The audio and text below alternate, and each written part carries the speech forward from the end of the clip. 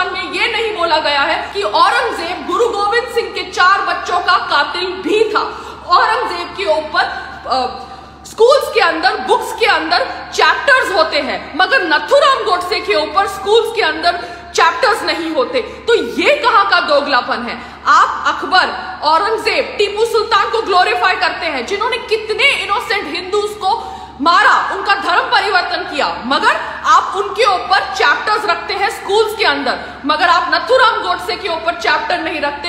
नथुराम गोडसे को लगा कि महात्मा गांधी, यानी मोहनदास करमचंद गांधी, ये पार्टीशन ये बंटवारे को रोक सकता था। मगर उन्होंने नहीं रोका। इसलिए उन्होंने उनका कत्ल किया। एक हिंदू ने दूसरे हिंदू को मारा क्योंकि उसको लगा कि वो हिंदू बाकी हिंदुओं को खत्म कर देगा। क्यों? क्योंकि वो मुसलमानों को दिखाना चाहता है कि वो प्रो मुस्लिम है। मुसलमानों की जब पॉपुलेशन 9 करोड़ थी, तब उनको एक देश दे दिया। उसके बावजूद भी हिंदुओं को मरना पड़ा। क्यों? क्योंकि बंटवारा हुआ। हम सबको पता है कि महात्मा गांधी को किसने मारा? मगर शायद ही हमको पता होगा कि गुरु गोविंद सिंह के बच्चों को किसने मारा। ये इसलिए है क्योंकि हमारे देश भारत के अंदर सिलेक्टिव इंफॉर्मेशन इम्पार्ट की जाती है इन स्कूल्स एंड कॉलेजेस जी हाँ ये इंफॉर्मेशन वैसी इंफॉर्मेशन होती है जहाँ पे टीपू सुल्तान को इंडियन हीरो कहा जाता है और महाराणा प्रताप या छत्रपति शिवाजी महाराज के बारे में हमको गूगल पे सर्च करना पड़ता है। हम सबको पता है कि नथुराम गोडसे एक हिंदू ब्राह्मण थे, एक मराठी हिंदू ब्राह्मण थे, जिन्होंने मोहनदास करमचंद गांधी को मारा, जो एक हिंदू थे। एक हिंदू ने दूसरे हिंदू को मारा, मगर क्यों मारा? क्योंकि वो हिंदू समझता था कि महात्मा गांधी की थॉट प्रोसेस या आइडियोलॉजी जो हो चुकी थी over the period of years वो एंटी हिंदू थी। जी हाँ अगर आप नथुराम गोडसे की स्पीच सुनते हैं, जो उन्होंने दी थी in the court room when he was sentenced to death तब उन्होंने कहा था, और वो स्पीच ऑनलाइन है गूगल पे है विकीपीडिया पे है, और आप सबको वो स्पीच सुननी चाहिए। जो सही मायने में हिंदू है, मैं ऑब्वियसली सही मायने में हिंदुओं की बात कर रही हूँ, उनको पता है कि नथुराम गोडसे ने महात्मा गांधी, यानी मोहनदास करमचंद गांधी को क्यों मारा। देखिए, किसी को मारना कानून को अपने हाथ में लेना गलत है और मैं उस बात को एडवोकेट नहीं करती हूँ। नथुराम गोडसे को उसकी सजा मिली, उनको फांसी दी गई। मगर नथुराम गोडसे ने महात्मा गांधी यानी मोहनदास करमचंद गांधी को क्यों मारा? एक हिंदू ने दूसरे हिंदू को क्यों मारा? ये जानना बहुत ज़रूरी है आज के टाइम पे, क्योंकि हमारे देश भारत में, हिंदुस्तान में बहुत ज़्यादा हिंदू है ऑब्वियसली सेक्युलरिज्म का नारा चीखते हैं, जिनको ये भी नहीं पता कि उनका इतिहास क्या है। ये ऑब्वियसली कन्वर्ट है, या वो इतने बिक गए हैं, या इनके अंदर ईमान धर्म है ही नहीं अपने धर्म के प्रति। ये सिर्फ़ अपना फ़ायदा देखते हैं, अपने करियर का फ़ायदा देखते हैं, अपनी सत्ता का फ़ायदा देखते हैं।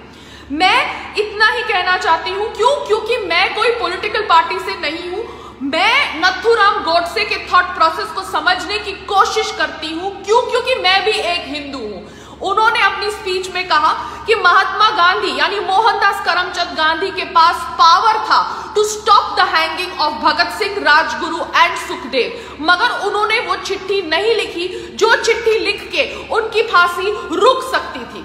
So this is what Mohandas Karamchand Gandhi did which was wrong according to me Mohandas Karamchand Gandhi could have prevented the partition of Bharat Nehru को प्रधानमंत्री बनना था। जी हाँ पंडित नेहरू को प्रधानमंत्री बनना था, जो अपने आप को हिंदू कहलाते थे। दूसरी तरफ़ मोहम्मद अली जिन्ना को प्रधानमंत्री बनना था, जो अपने आप को कट्टर मुस्लिम कहते थे। दोनों को प्रधानमंत्री बनना था, इसलिए भारत के दो टुकड़े हुए। एक को हिंदुस्तान का प्रधानमंत्री बनाया गया, दूसरे को पाकिस्तान का प्रधानमंत्री बनाया गया। मगर वो बंटवारे में 10 लाख से ऊपर लोगों की हत्या हुई। वो दंगों में इतने हिंदू, मुस्लिम, सिख, ईसाई मरे गए कि हम गिन नहीं सकते। और इस दंगों के बारे में मैं आपके साथ इसलिए खुलकर बात कर सकती हूँ क्योंकि मेरी नानी भी पाकिस्तान से भाग कर आई थी।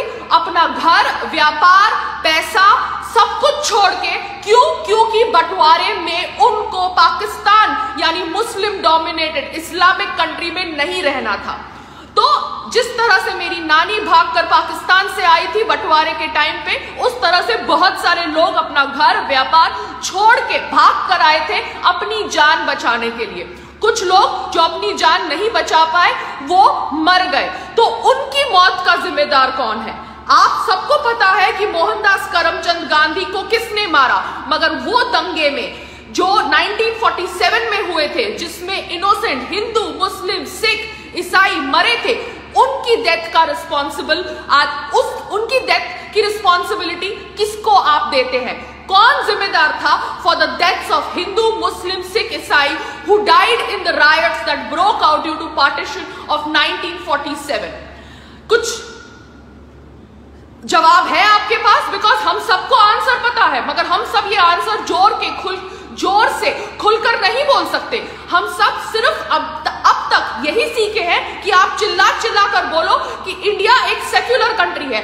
मगर आप और मैं इस बारे में ज़ोर से नहीं बोलेंगे कि who was responsible for the killing of nearly ten thousand Indians due to the partition of Bharat into Hindustan and Pakistan in 1947 हम सबको इसका आंसर पता है, मगर इसके बावजूद हम ज़ोर से वो नाम नहीं लेंगे। नथुराम गोडसे को लगा कि महात्मा गांधी, यानी मोहनदास करमचंद गांधी, ये पार्टीशन ये बंटवारे को रोक सकता था, मगर उन्होंने नहीं रोका। इसलिए उन्होंने उनका कत्ल किया। एक हिंदू ने दूसरे हिंदू को मारा क्योंकि उसको लगा कि वो हिंदू बाकी हिंदुओं को खत्म कर देगा। क्यों? क्योंकि वो मुसलमानों को दिखाना चाहता है कि वो प्रो मुस्लिम है। मुसलमानों की जब पॉपुलेशन 9 करोड़ थी, तब उनको एक देश दे दिया। उसके बावजूद भी हिंदुओं को मरना पड़ा। क्यों? क्योंकि बंटवारा हुआ। तो this is the thought process that we need to understand मैं महात्मा गांधी जी की रिस्पेक्ट करूँगी, क्योंकि मुझे बोला गया है कि मुझे उनकी रिस्पेक्ट करनी है, क्योंकि वो फादर ऑफ़ द नेशन है। ही इज़ द राष्ट्रपिता ऑफ़ भारत। और अगर मैं उनकी रिस्पेक्ट नहीं करूँगी तो ये अगेंस्ट द लॉ होगा। मैं महात्मा गांधी जी की रिस्पेक्ट करती हूँ, मगर मेरी ओपिनियन में, मेरे सोच के हिसाब से मैं नथुराम गोडसे की भी रिस्पेक्ट करती हूँ, क्योंकि नथुराम गोडसे ने अपना नाम, अपना परिवार, अपनी पूरे सातों पुश्तियों को लाइन पे लगा दिया बाय किलिंग मोहनदास करमचंद गांधी। जी हाँ कोई खुलकर नहीं बोलता कि I am a fan of Nathuram Godse चाहे वो हिंदू क्यों ना हो। क्यों? क्योंकि ये बोल के उसको हिंदुस्तान में गंदी नज़र से देखा जाएगा, क्योंकि सत्तर साल से सिर्फ़ यही बोला गया है कि नथुराम गोडसे महात्मा गांधी का कातिल था। मगर हिंदुस्तान में ये नहीं बोला गया है कि औरंगज़ेब गुरु गोविंद सिंह के चार बच्चों का कातिल भी था। औरंगज़ेब के ऊपर स्कूल्स के अंदर, बुक्स के अंदर चैप्टर्स होते हैं, मगर नथुराम गोडसे के ऊपर स्कूल्स के अंदर चैप्टर्स नहीं होते। तो ये कहाँ का दोगलापन है? आप अकबर, औरंगज़ेब, टीपू सुल्तान को ग्लोरीफाई करते हैं, जिन्होंने कितने इनोसेंट हिंदूज को मारा, उनका धर्म परिवर्तन किया। मगर आप उनके ऊपर चैप्टर्स रखते हैं स्कूल्स के अंदर। मगर आप नथुराम गोडसे के ऊपर चैप्टर नहीं रखते, जो एक ब्राह्मण मराठी हिंदू था, जिसने हिंदुओं को बचाने के लिए अपनी सोच के हिसाब से, जो सोच गलत थी, क्योंकि आपके पास कोई राइट नहीं है किसी दूसरे इंसान को मारने का। तो प्लीज़ मेरी बात को तोड़ना मड़ोड़ना नहीं।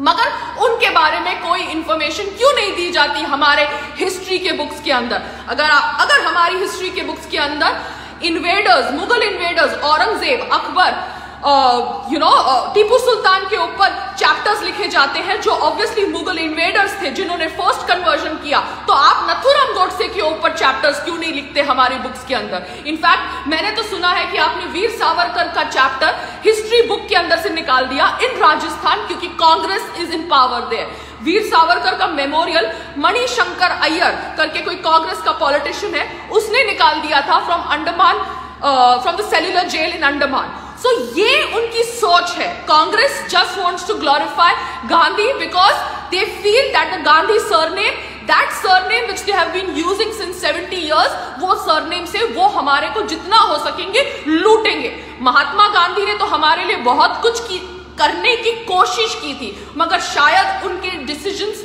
कभी कभी गलत हो गए, क्योंकि आफ्टर ऑल वो एक इंसान थे।